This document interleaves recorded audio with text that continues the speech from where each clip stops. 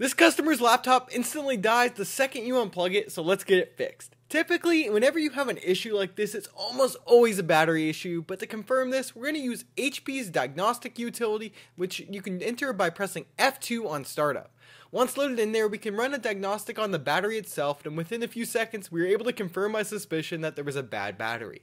To fix this, we're going to need to unscrew and remove the bottom cover off the laptop, which will reveal the battery, and after doing so, we can see that it's just a little bit swollen, which is typically an indication of a failing battery. So let's get this unplugged, and remove the battery. From there, we can take this brand new battery and get that installed and put the system back together. With that new battery installed, we can fire up the system where I'm going to launch back into the diagnostic utility to run HP's built-in battery calibration which is really important to run anytime you swap out a battery as it tells your system your full charge and full discharge capacity so you get way better estimates when you're running your computer on this battery. With this calibration now complete and the system running way better than ever before,